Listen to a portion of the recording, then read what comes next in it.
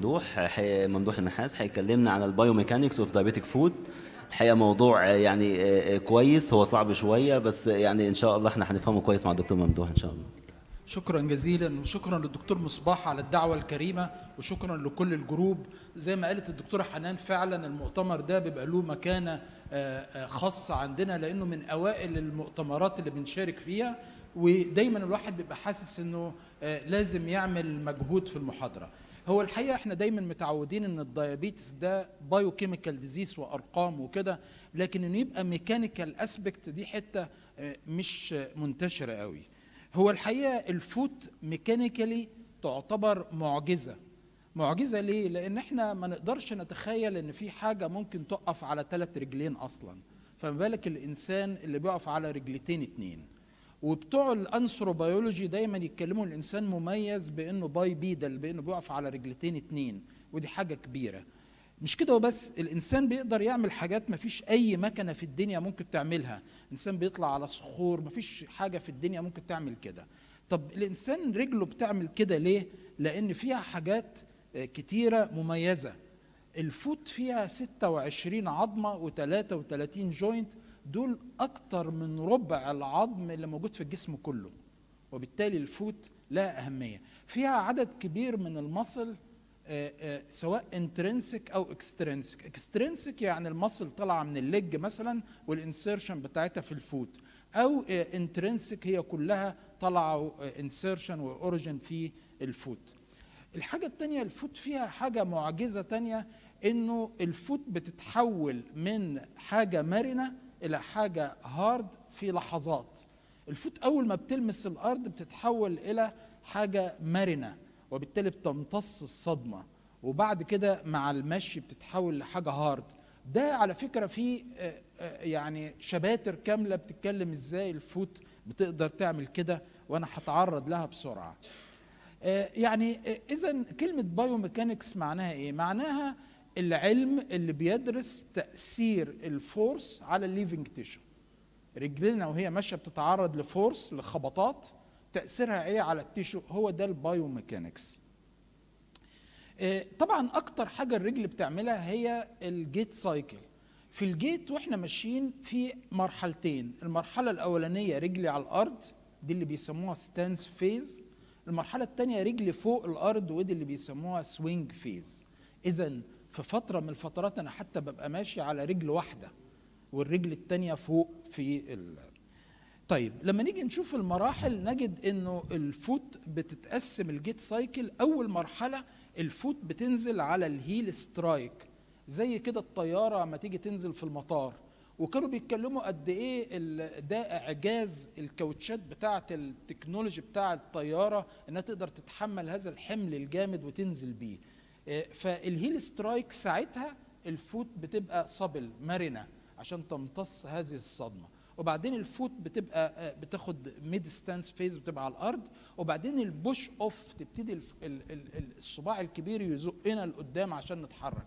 في المرحلة دي ال foot بتبقى hard rigid وبالتالي شوف قد إيه في لحظة ال foot بتتحرك بتتحول من حاجة soft إلى حاجة hard وبعدين بنكمل ال swing phase وبرده في مراحل. يعني إذا كأن ال pressure بيتوزع على ال foot بشكل بيبتدي من ال heel ويبتدي لغاية ما ياخد ال forefoot آه، حتة إزاي ال foot بتتحول من supple حاجة مرنة إلى حاجة rigid على فكرة في يعني كتب كتيرة بتتكلم على الموضوع ده وفي mechanism ات كتيرة موجودة آه، بتفسر على كل مستوى. فإذا دي عملية من الحاجات المعجزات. عندنا حاجة تانية برضو معجزة وهي ال ال ال ال heel fat pad. ال heel fat pad ده عبارة عن آه، لو كلنا نيجي نشوف تحت ال calcaneus هنلاقي فيه fat. ال fat ده معمول ب mechanism إن فيه septa موجودة وجواها ال fat فده بتخلي ال absorption of pressure فيه عالي. وعشان كده لو حصل atrophy لل fat ده بيبقى مشكلة كبيرة. وده بيحصل في الناس اللي بياخدوا repeated corticosteroid injection في علاج ال plantar fasciitis وغيره. طيب إذا كان ال biomechanics ده branch مطلوب يبقى موجود في ال diabetic foot team فلازم نعرف إزاي نشخص وإزاي نعالج عشان يبقى حاجة ميديكال طيب آه، آه، هو الأول بس أنا عايز أقول إشمعنى الدايابيتك سبجكت هم اللي برون أكتر؟ إشمعنى ده ما بيتقالش إلا في الدايابيتس؟ هو على فكرة بيتقال في حاجات تانية زي الروماتويد أرثرايتس ومريض الروماتويد أرثرايتس ممكن يحتاج إلى كاستم ميد انسول ويعامل معاملة الدايابيتك فود سبجكت بس الدايابيتك سبجكت عنده حاجات كتيرة ممكن تؤدي إلى إنه يبقى عنده بايوميكانيكال ابنورماليتيز البوني بروميننسز كلنا عارفين الكلوينج اوف ذا توز كلوينج اوف ذا توز أحد المانيفستيشن اوف بريفرال نيوروباثي هتخلي بروميننت ميتاتارسال هيد تخلي البريشر عالي وكتير جدا ما بنشوف ال- الحتة دي بيحصل فيها ألسر الحاجة الثانية إنه الليميتد جوينت موبيليتي إحنا عارفين العيان الدايابيتك عنده حاجة اسمها هالوكس ريجيدس. المفروض الصباع الكبير ده بيحصل دورس فليكشن حوالي 60 درجة. في الدايابيتك سبجكت دي بتبقى ليميتد وبالتالي بتحط بريشر عالي على البيك 2 وعشان كده أول ما نلاقي ألسر على الهالوكس نفكر على طول في هالوكس ريجيدس. ليه؟ لأنك أنت لو عالجت الألسر دي هترجع تاني. فلازم تحل المشكلة إن إن البيك 2 أو الهالوكس ما بيحصلوش دورس فليكشن زي النورمال الجوينت ديفورميتي في الحقيقة جوينت ديفورميتي أشهرها الشاركو. إحنا عارفين إن الكرونيك شاركو بيعمل ديفورميتي ودايما إحنا برضو متعودين أول ما نلاقي ميد فوت ألسر نفكر في كرونيك شاركو على طول لأنها بتبقى هي البريسيبيتيتنج فاكتور الكيلس العيان الدايابيتك عنده دراي سكن وعنده كيلس لأسباب كتيرة والنيوروباثي وغيره ودايما لما بلاقي كيلس خصوصا لو لقيتها هيموراجيك زي دي بعرف إن في تحتها ألسر فالكيلس دي لما اتشالت طلع في تحتها ألسر. الألترد تيشو بروبرتيز. إحنا دايما نقول إن عيان الدايابيتك عنده جلايكوزيليشن في الكولاجين بتاعه وبالتالي على الباك بيبقى سيك سكين على الديوبترين كونتراكتشر فدي كلها حاجات بتؤدي بتؤدي إلى إنه يبقى بريديسبوز لبلانتر بريشر ابنورماليتيز الجيت ابنورماليتيز يمكن وإحنا آه، الطلبة كانوا في النيورو يقول لك أنواع السبيشال جيت يقول لك إن الدايابيتك نيوروباثي فيه هاي ستيبج جيت فالجيت مختلفة. بس الحقيقة دلوقتي بقى في حاجات كتيرة بيجدوا إنها في ابنورماليتيز في الجيت في الدايابيتك سبجكت عن النون دايابيتك سبجكت زي ما كنت بقول يعني عشان نقول إن البايوميكانكس ده برانش يتضاف للميديسن يبقى إحنا عايزين دايجنوزس اند تريتمنت تعالوا نشوف الأول الدايجنوزس إزاي نشخص البايوميكانيكال أبنورماليتيز. الحقيقة أنا هبتدي بالمور سوفيستيكيتد بس مش عاوز حد يسرح ويتفك ويفتكر إن دي حاجة نظرية مش هتبقى موجودة. الكلام ده موجود في السنترز ولو مش موجود أنا همشي لغاية حاجات هتكون موجودة عند أي حد في أي حتة. الدايجنوزس اوف بايوميكانيكال ابنورماليتيز طبعا البريشر ديستريبيوشن تكنولوجي ده يعتبر أحدث حاجة وفي أجهزة كتيرة آه، آه، آه، موجودة. المريض أول ما بيدوس على الجهاز بتقيس البلانتر بريشر بدقة في كل حتة في الفوت وتقول لك المشكلة فين بالظبط. الحقيقة الأجهزة دي كلها موجودة في جامعة المنصورة. والحقيقة يعني على ذكر الدكتورة حنان وإنها في الاي دي اف الحقيقة ده مش من فراغ. يمكن من سنين طويلة الجهاز ده على سبيل المثال الدكتورة حنان بكوميونيكيشن خاصة كان أحد البيشنت جابوا لها هدية. فإذا الافورت بتاع السنين الطويلة ده لازم يجد له آه، تكريم. آه، آه، ده جهاز تاني برضو موجود في المنصورة بيقيس البلانتر بريشر العين مجرد ما يدوس على الخطوة دي يبتدي يحصل قياس للبلانتر بريشر ويديك قراية كل حتة بالظبط البريشر فيها قد إيه وبالتالي تقدر آه، تقيس البريشر وتقدر تقلله. آه، كمان الدنيا اتطورت أكتر إلى إنه يبقى فيه آه، قياس للبريشر والمريض ماشي وهو جوه جزمته. فبيبقى فيه إنسول ده برضو موجود في المنصورة بحيث افرض إن أنا عملت أي اورثوتكس حطيتها في رجل العيان عايز أشوف تأثيرها هي حسنت ولا سوقت؟ فأقدر أقيس ال- الضغط البلانتر بريشر قبل وبعد. آه، بتتحط الإنسول دي جوه الجزمة بالشكل ده والعيان بيلبسها ويمشي بيها والجهاز يبين لك فيديو كده تشوف البريشر وهو ماشي بالظبط إيه اللي بيحصل والتغيرات بتحصل إزاي. طيب الالكترونيك ديفايسز دي لازم نعترف إنها غالية ومش موجودة في كل حتة. هل عدم وجودها يعفيني من المسؤولية؟ بالتأكيد لا. لأن في طرق تانية سهلة جدا أقدر أستخدمها علشان أقدر أعمل biomechanical assessment على سبيل المثال ال pressure stat ده. ال pressure stat ده آه، آه، ورقة كده بتتجاب كربون مجرد العيان بيقف عليها بتقيس ال pressure. وعلى فكرة إحنا في أحد المؤتمرات آه، آه، كنا آه، جايبين من بره في الشنط بتاعتنا وإحنا راجعين ال team ال- ال- ال pressure stat دي واستخدمناها فترة في المنصورة. وهقول لكم على ال diagnostic accuracy بتاعتها. يعني دي عيانة كانت بتجيلها forefoot ulcer وكان في عملية بتتعمل يعملوا resection لل metatarsal head. فكانوا كانت العملية دي منتشرة by this time ودي عملية ما عادش حد بيعملها على فكرة. ليه؟ لأنها بتحول ال pressure من حتة لحتة الثانية فالعيانة كان بيجي لها ulcer على ال heel على ال first metatarsal head لما عملنا لها قياس ال pressure بينت المنظر ده. الحتة اللي هي عاملة فيها العملية بقت مرفوعة على الأرض مش محملة خالص بس الحتة الثانية بقى عليها pressure عالي. يعني معنى كده إنك أنت محتاج تخف ال pressure ده علشان ما يحصلش للعيانة recurrence تاني.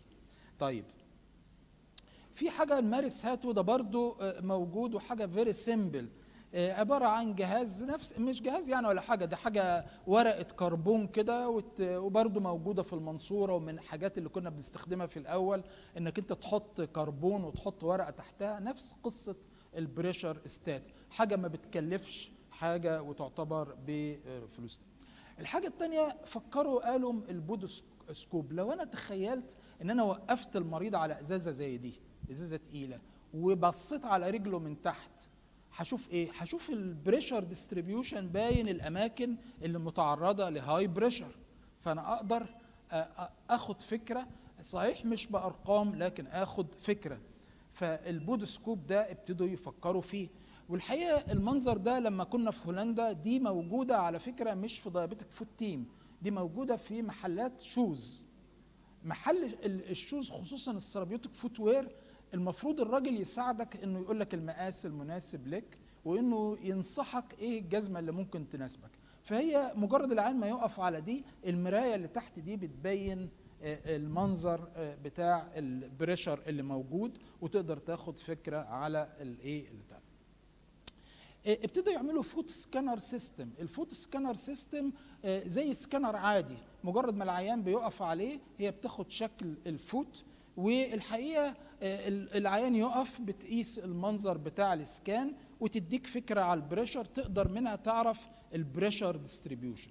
الحقيقة الجهاز ده إحنا عملنا زيه بحاجات بملاليم.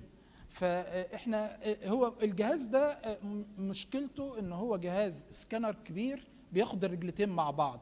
طب ما إحنا قلنا ما إحنا نعمل آه، الجهاز ال- السكانر العادي جبناه وجبنا الإزازة دي كانت بتاعه الموازين بتاعه الجسم دي اللي هي لأن إحنا كنا خايفين ساعتها نجيب إزازة المريض يقف عليها تتكسر وتبقى كارثة فجبنا بتاعه ميزان عشان نبقى sure إن دي حاجة standardized وحطينا السكانر تحت منها وعملنا بتاع آه، آه، الوميتال عادية ما اتكلفتش 10 جنيه وحطينا البتاع جواها بقى مجرد العيان ما يقف السكانر بيجيب الصورة وبيدي صور هوريها لكم في في غاية الفايدة يعني مثلا ده منظر لعيان أنا شايف العيان ده عنده clawing of the toes شايف صوابعه خابطة في الأرض وشايف. هي بس ال quality مش حلوة هنا آه، لكن بيبين الأماكن اللي فيها high pressure من الأماكن اللي ما فيهاش high pressure فاذا يعني حتى العيان ده لما أجي أبص ألاقي إن ال arch بتاعه مش شايل حاجة خالص. شايفين ال arch كله فوق الأرض عكس في الناحية الثانية ال arch شايل. فاذا أنا ده ممكن أحط له arch support أو موزع ال pressure على ال foot كلها. آه، طيب أنا ما عنديش كل ده وما عنديش حاجة خالص. ال inspection ال inspection استخدم عيني. ال inspection is very important بس دايما ال inspection عشان نعمل inspection صح لازم نعملها بتكنيك صح. إحنا دايما لما بنقول للطالب حتى اعمل inspection لل abdomen نقول له إيه؟ نقول له لازم تبص tangential وتقف عند رجل العيان وتقف عند السرير وتبص tangential فلازم تبص صح. عشان تبص صح لازم تكون في ال level بتاع العيان. عشان كده في معظم ال diabetic foot clinic بيبقى في حاجة زي كده وبرده موجودة في المنصورة. المريض وهو ماشي وانت قاعد تحت شايف رجله قدامك وشايف إيه اللي بيحصل فيها. طب دي ممكن تبقى مفيدة؟ آه ممكن تبقى مفيدة. ممكن إنه العيان ده اللي عنده hallux rigidus. ال hallux rigidus آه العيان لما وهو ماشي صباعه الكبير ما بيتناش. لازم لما أجي أشوفها أشوفها والعيان ماشي والعيان على weight bearing وهو محمل على رجله. طب افرض أنا ما عنديش حتى دي أنا ممكن والعيان نايم على السرير أنا بعمل support لل heel. يعني لما لاجي لما أجي أشوف العيان ده عنده hallux rigidus ولا لا لازم أعمل support ممكن أضغط بصباعي هنا أو أعمل support بإيدي على ال plantar foot بحيث إن أنا أشوف في functional hallux rigidus ولا لا. وزي ما قلنا ده حاجة common وبتعمل مشكلة كبيرة. في حاجات تانية ال flat foot ال flat foot بيبان من العيان وهو واقف. وإحنا عارفين دي مش حاجة قليلة كانوا بيطلعوا الناس بالجيش منها. ولو أنا عندي orthotic أنا ممكن أشوف ال orthotic دي مناسبة ولا لأ؟ حتى بال inspection أحطها على رجل العيان. ال excessive pronation أو ال over pronation شايفين الرجل عاملة إزاي؟ وممكن تبقى ال supination أنا ممكن آخد فكرة وعلى فكرة دي common وإحنا حتى بعضنا بيبقى عنده الحكاية دي وممكن يلاحظ إن الجزمة بتاعته دايما بتتعوج شمال بتتعوج يمين يعني على حسب. فلو أنا عارف ال biomechanical abnormalities هقدر أصلح المشكلة. طيب زي ما قلت طالما أنت عاوز ده يبقى branch أو subspecialty لازم يبقى فيه treatment الحقيقة في ال treatment هو ال treatment هو اللي بنسميه إيه؟ اللي بنسميه offloading offloading يعني إيه؟ آه إن أنا العيان آه أي واحد عنده مشكلة في دراعه بنقول له علق دراعك ما تحملش عليه عنده fracture بتجبسه بس الرجل دي هتعمل فيها إيه؟ الرجل مش هتقدر تشيل ال pressure لكن تقدر تخفف ال pressure وده الموضوع اللي هتكلمنا عليه الدكتورة ولاء. في الآخر أنا عايز أقول إنه ال diabetes بالرغم من إن إحنا بنقول عليه biomechanical disease إلا إنه biochemical disease إلا إن ال biomechanical aspect are very important ولازم تبقى part من our assessment ال biomechanical alterations في ال diabetes are common لأسباب كتيرة ال neuropathy وال deformity وغيره. زي ما قلت لازم أعمل biomechanical assessment عدم وجود الأجهزة ليس excuse ابدا إن أنا ما أعملش biomechanical assessment أنا أقدر أعمل حتى لو ب simple inspection وشكرا جزيلا لكم. شكرا.